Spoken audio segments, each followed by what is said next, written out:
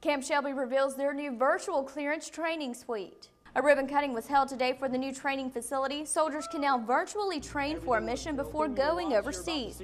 Camp Shelby is the ninth training center in the nation to receive one of the 28 training suites and the only one in Mississippi. The project cost about $70 million. WHLT 22 is connecting you to more news in the Pine Belt. I can open up the IED and grab a rocket. I come over here and I say, I want to put that right there. Sergeant First Class John Downing is placing an IED in the middle of a soldier's training ground to prepare him for the unknowns that lie ahead in combat. A lot of this has come from uh, soldiers like myself that have been deployed. Shoot right there. Yeah. He's created 90% of the scenarios used in this virtual training suite.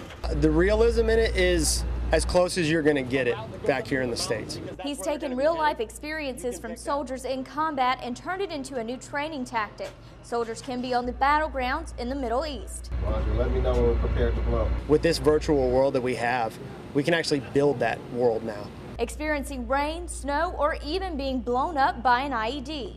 Improvised explosive devices are the biggest killer of soldiers. Colonel Brad Smith, commander at Camp Shelby, says this technology is saving the lives of soldiers. Soldiers can actually perfect skills before they get in combat.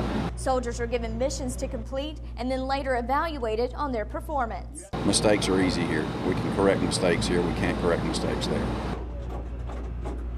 Officials say the program will be upgraded continually to keep up with the changing times.